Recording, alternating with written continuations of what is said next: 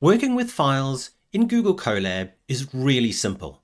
In this short tutorial, I'll go through how you can create a new file in Google Colab, how you can download that file, upload files, even use that file in your scripts.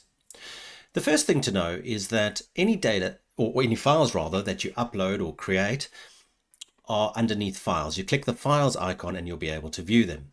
I'm first going to create a file. This is just a random number generator that'll create a file. So I'll run that. Now, a CSV file has been created called garysdata.csv, and many people don't know then where to find this.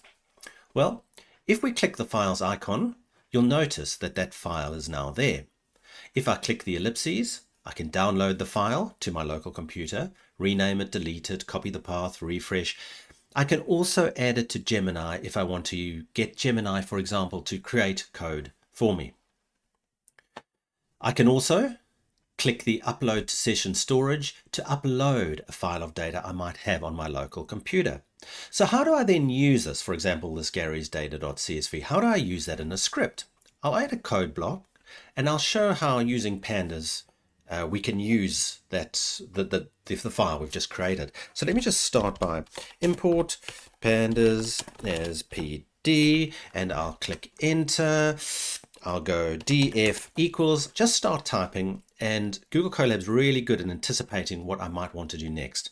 So I'm going to click the tab because yes, I want to load up that file and view the head section. So I'll click the little play or go icon and you'll notice the first few rows of data uh, are now showing, which is great.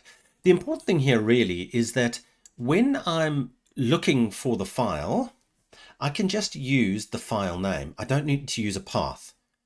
Google Colab already knows that the path to the file, so I just need to use the name of the file that's in my file manager. Please like this video and thanks for joining me.